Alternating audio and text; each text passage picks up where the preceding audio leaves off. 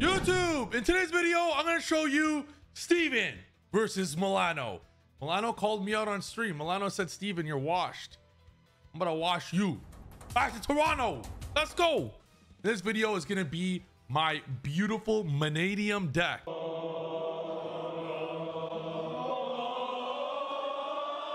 Handcrafted by the pen god himself with Nemesis cards.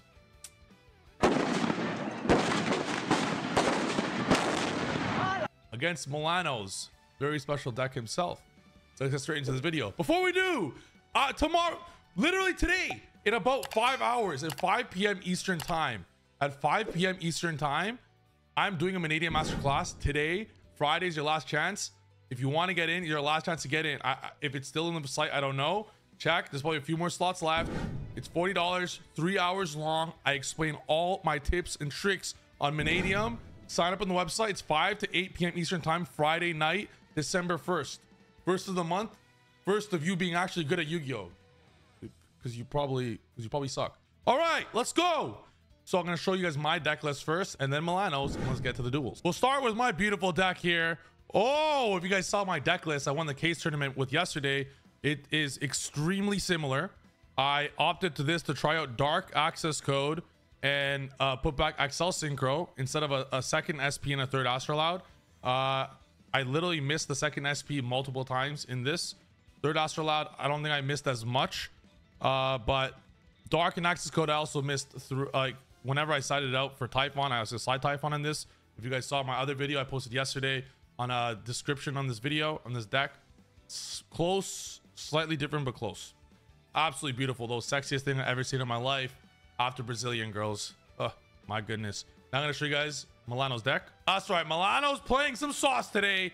Milano has Runic, Bystial, Cartesia Quem. New deck.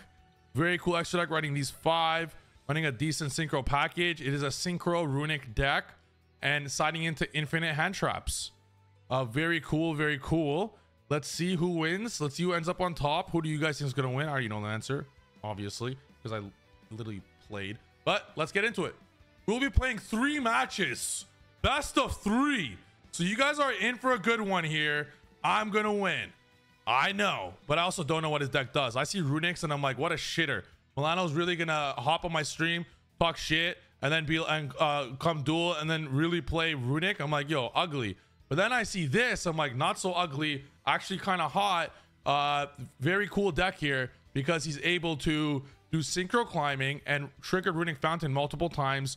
Coral Dragon draws. It's actually a very cool deck. Get end phase search off that, just so you guys see his hand now. So I'm gonna be dealing with Ash Blossom, Druid Worm, uh, Freezing Curses, Flashing Fire, Baron.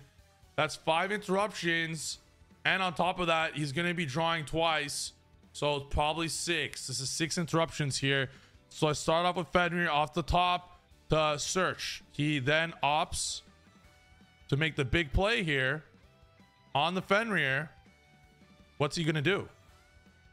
So I go Calarium and he ashes the Calarium. The reason I do this before Fenrir is to play around Droll. And now this gives me an opportunity to trigger Fenrir's Banish. And I do have Right Soth, which will then later allow me, if he did Baron my Fenrir, for example, I can later Right Soth into Fenrir to then Fenrir Sir Scare Kashtira to continue playing. So at this point, I go Fenrir, target Baron.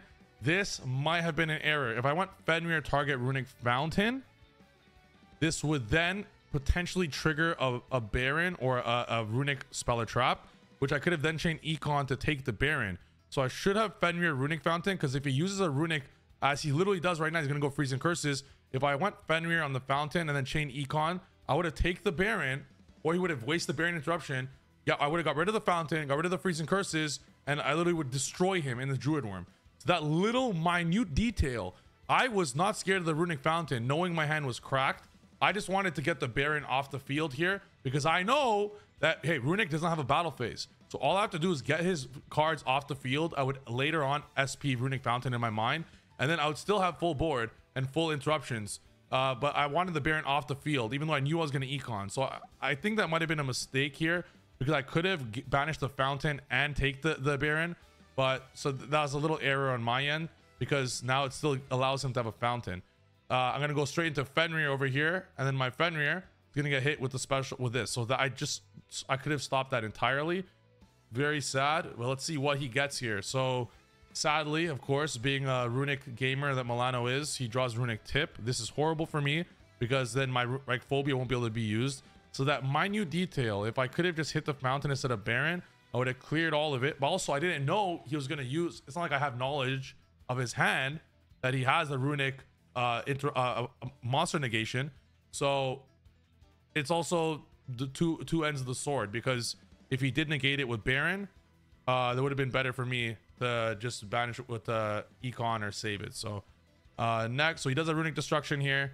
Uh, so I have to play accordingly. My next play here is going to be Rhoda. So I, I'm really trying to big brain him. Keep in mind that I cannot room heart with Rykart because Right gains uh, gives Rykart 100 attack points. So I'm thinking about this next level. So I go Light Heart into Phobia. Okay. Uh, I really think about this deep. I'm like, okay, if I set Phobia and then go Arrival into Rykart, I could then Room Heart destroy Rykart because it's set. Room Heart get Meek. I could then special Meek. I could continue playing.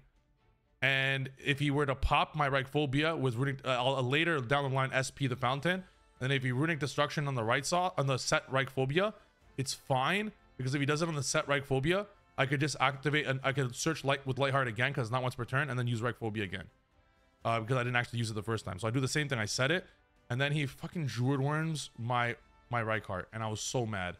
Uh, I'm like, I was so pissed. I was so close to win. One interruption too many. And I literally could have won through six interruptions. That was a bozo play, but that's why they play best two of threes, right? So here I'm going first. I am playing around Droll. This is why I'm putting in the Runic Cannon. You go to Runic Cannon on the Runic at the top and they're cooked. So I'm just waiting to see what he's going to do. I go Terraforming into Right Soth, no Droll. Right Soth into Fenrir. He's option here to Calarium first. I, I'd decide if I want a Calarium or, or, or use uh, Kashtira. I decide to save the Calarium so I could potentially get the pop later. He Phantasmes uh, with the light on, on Lightheart. I have a scenario. I wanted to use the Phantasmate for him to go uh, neg one in his hand. But I wanted to stay on field just in case.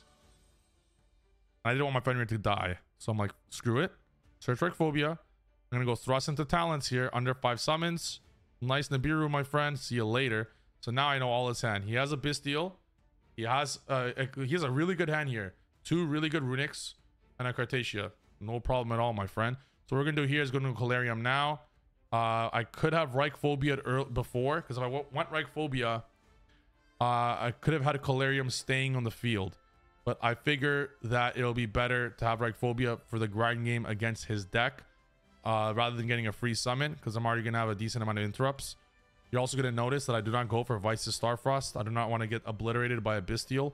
So there's scenarios where it's better to even not go for the uh, Visas uh, in scenarios like this. So I could have got a draw. Uh, or I, I, know I could have Baron as well, but there's so many lines you can do that I'm like, let's just keep it.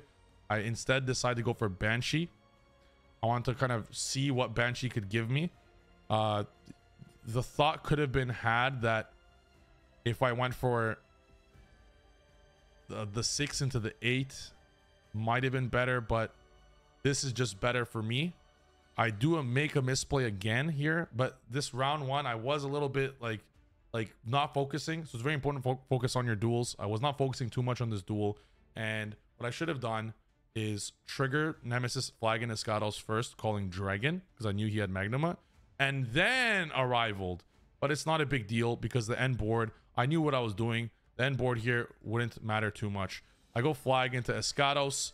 At this point, I go into SP Little Knight, uh, banishing the arrival for later. Summon out Escados. Uh, I pop. I call Fairy because uh, all most of the runics are fairies. But against his deck, Escados doesn't do too much. Escados is a lot better against the top five meta decks. Not so much his deck. So he goes regain and tip here. Not the best scenario for me. And I'm really, I make a big misplay again. So three misplays. Again, three misplays is not okay. You should not be doing three misplays ever. But against a deck like his, you don't really know a lot of interactions. So it's important to check these interactions and never make these misplays again. None of these misplays are minor. They're big brain misplays that are uh, some wouldn't consider misplays, but they do lead to misplay. These minute details are extremely important, and you got to be hard on yourself for these misplays. One one of them here is regain with SP. So I wanted my Escados to survive the following turn because the nature of his deck, as long as Escados survives, I'm, I'm fine. And I SP a little early with the regain. I should have waited for him to use some form of monster effect to Fenrir the regain and then SP Escados because now you can just put back the SP, which is fine because I can just remake it again. In this version, I am only playing one, so it's still fine. Uh, so he's gonna go Druid Worm. I then opt to to banish his freezing curses. And then I recognize the scenario. I'm like, I, I did make some mistakes, but the Daruma Cannon let, let it go. So instead of banishing the regain, I decided to banish the field spell. The Daruma Cannon will then allow my Fenrir to resolve, uh, giving him no play. Does have a draw. This is a cool play that he he can't summon a fairy, so just summon anything else instead. Uh, ends up into Gragnol. Cannot pronounce that card yet.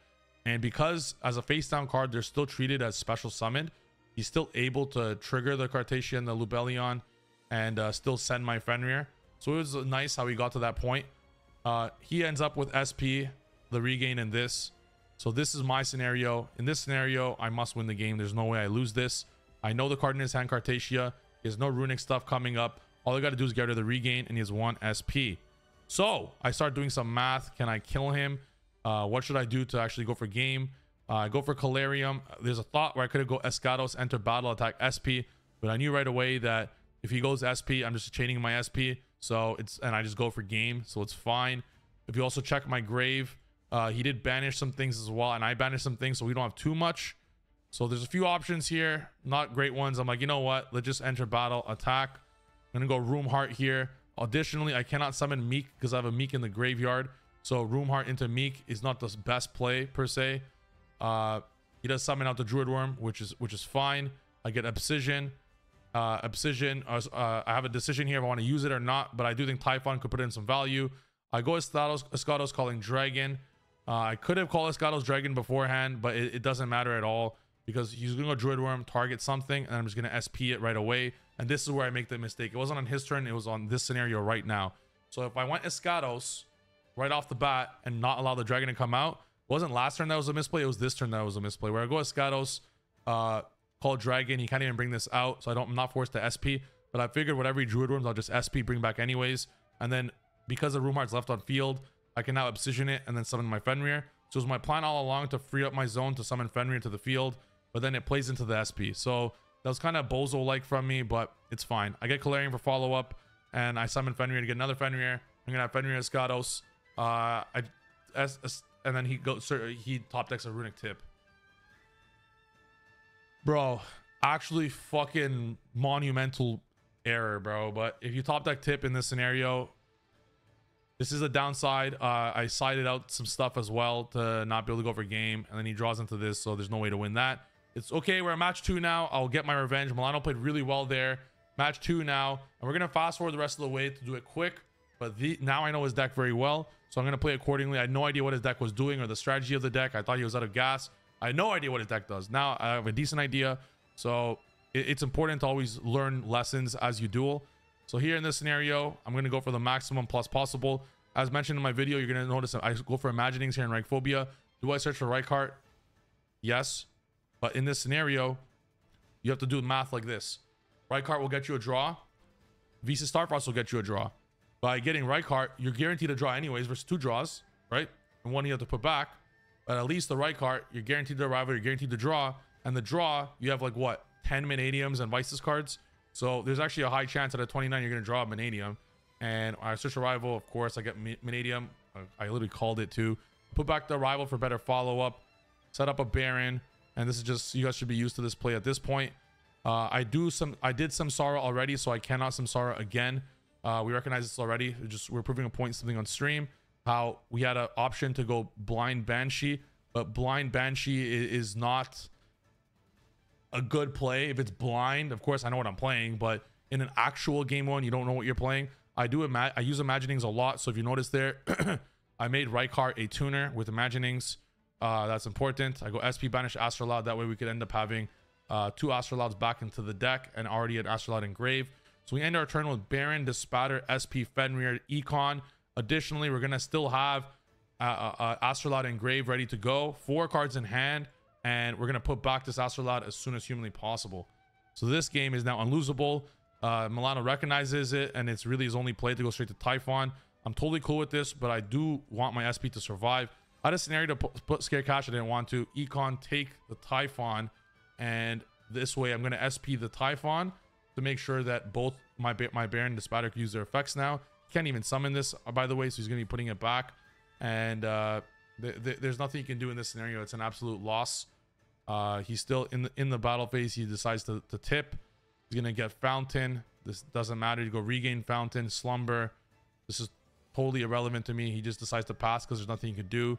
Right, right away, he uses a Runic to try to draw. I put this back. I negate and the regained. He's gonna draw some cards, but in this scenario, you can't you cannot win. It's impossible with this many cards in my hand with what he has.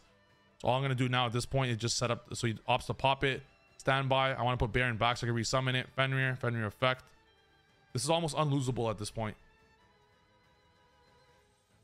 Almost unlosable at this point. I put Lightheart out.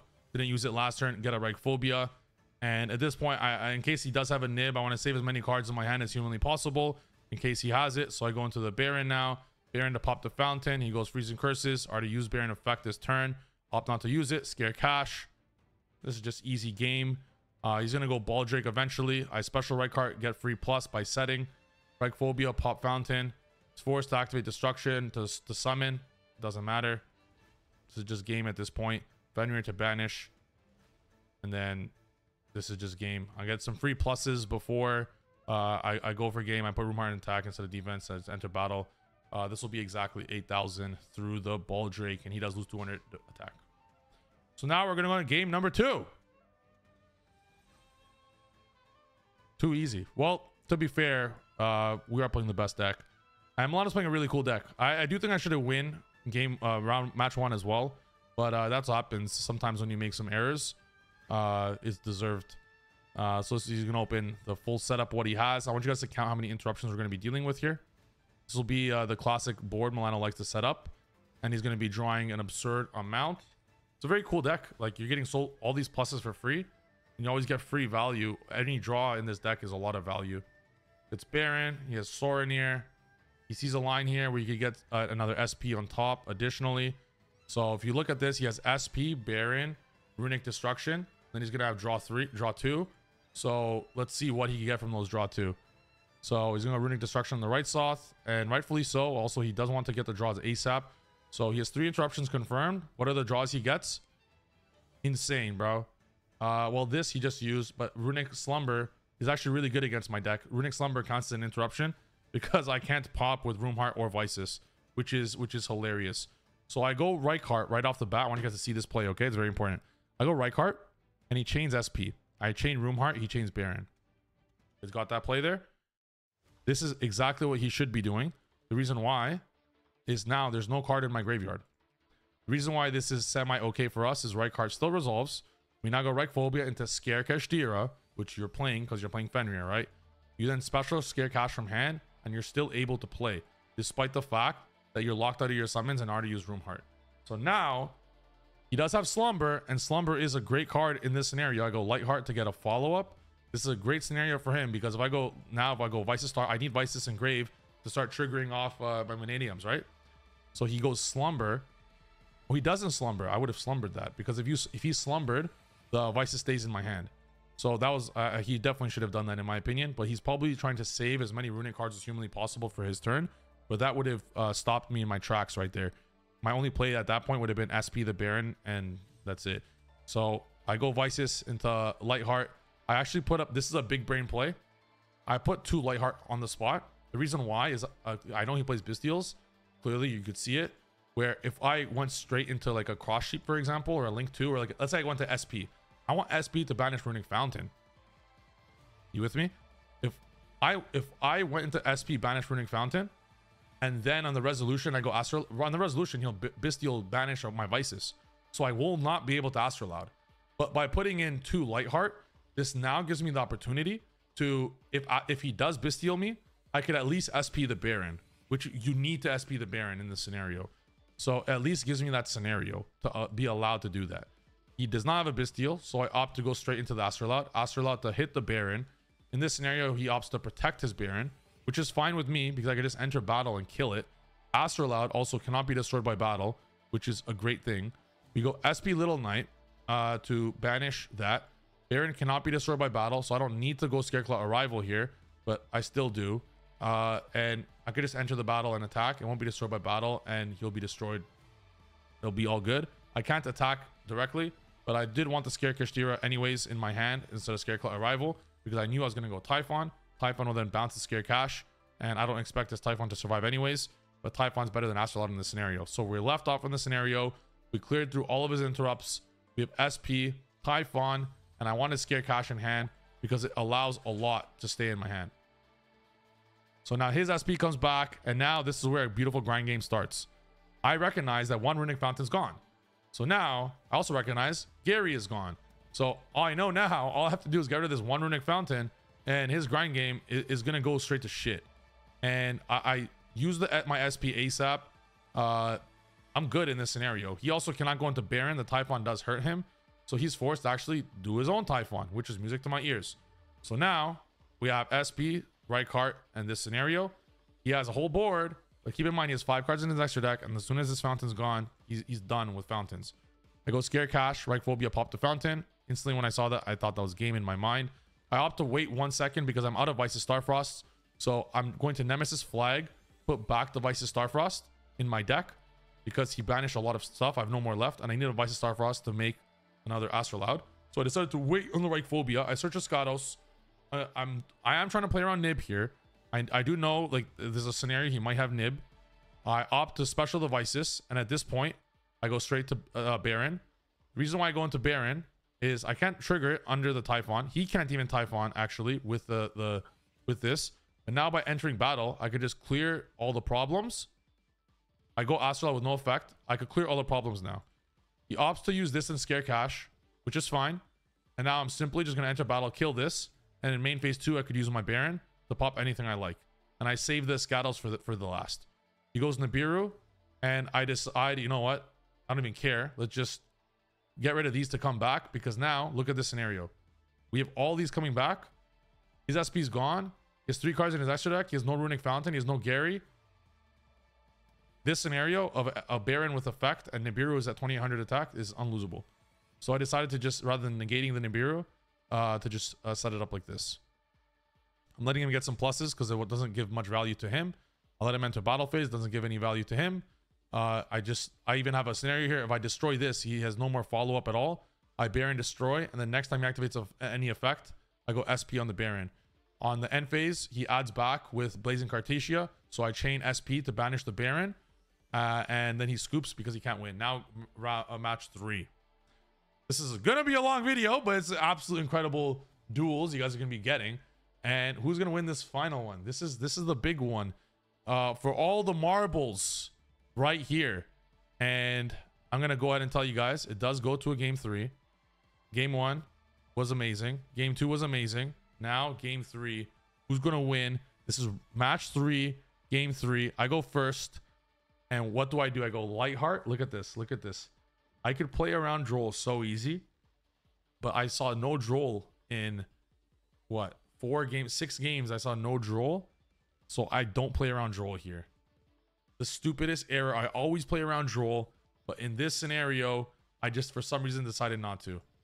And this is a lesson here I want to show you guys. Even if you don't see Droll from your opponent, always play around it. Always. I could have end with this board, with this hand, I could have very much easily ended on four interrupts through Droll. But I just decided that I thought Milano wasn't playing it. He also sided so quick. I thought he wasn't even siding. So never take that for granted. It was an amazing match, but due to the draw, we did lose this game. Amazing match. Hope you guys enjoyed the video.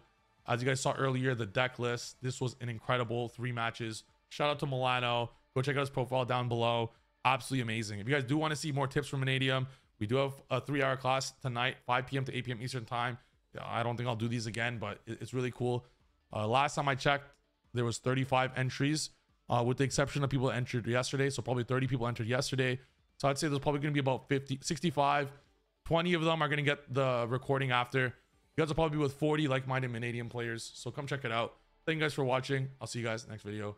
Go check out Milano's channel. See you guys next video. Peace.